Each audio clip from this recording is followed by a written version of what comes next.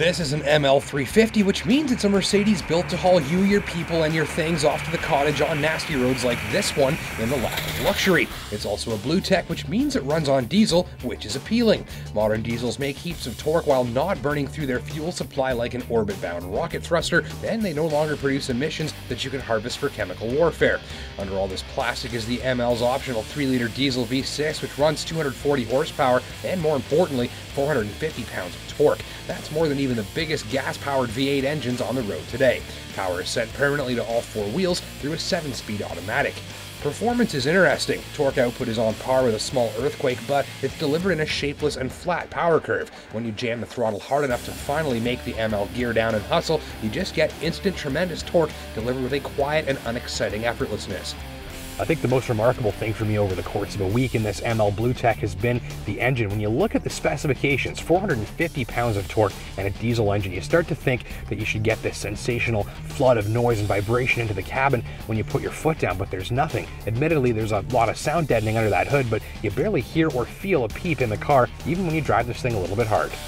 So there isn't much exhilaration from the power plant when you hammer down, but holy heck does she ever roll some coal when you give her the boots. This thing hauls. From the driver's seat you get a commanding forward view, steering wheel controls for media and communications, and features like automatic lights, wipers, and climate control for set it and forget it operation. The cabin is classy, comfortable, and on the understated side, which is nice if you'd rather an interior that doesn't look overdone and styled like a piece of space travel equipment. It's a relaxing, focused, and formal environment, and if you like comfy and functional, but not overly stimulating, you'll just love it in here. A fast-acting power tailgate adds convenience, there's a pile of room in the cargo hold, and rear seat occupants will have plenty of space. I noted no issues with headroom, even with the panoramic sunroof. The 4MATIC 4x4 system has no low range or locking mode for serious off-roading, but in most every situation I tossed the ML's way, the computer calling the shots here knew what was up. There was minimal wasted wheel spin, and in some situations you can actually feel it working the power around to extract the most possible traction from the ground beneath.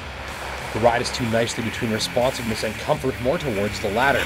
I picture German engineers sitting around a table debating on suspension calibrations, and what they agreed on sees the ML ride very quietly and with a composed and solid feel over all but the biggest potholes and bumps. Only over these severe washboard surfaces did the ride get uncomfortable and noisy.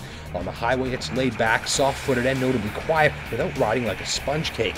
Steering feels locked on and dense at speed, though added power assist for parking makes the wheel light as a feather, impressively tight turning circle too.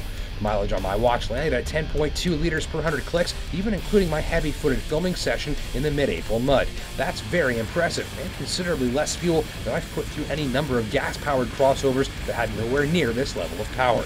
I also noted fantastic performance from the adaptive xenon lights, and the Harman Kardon stereo is a beast that will blast your eardrums to kingdom come.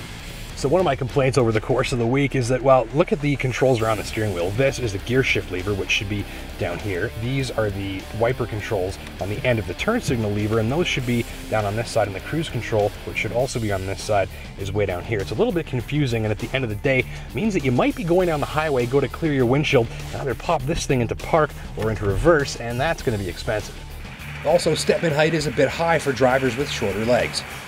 All said, here's a ute that provides relaxing, capable, comfortable, and very fuel efficient operation in virtually any weather or driving situation. If that sounds like your cup of tea, the ML BlueTEC should be given your immediate attention alongside comparable diesel powered machinery from Jeep, Audi, and BMW. Thanks for watching.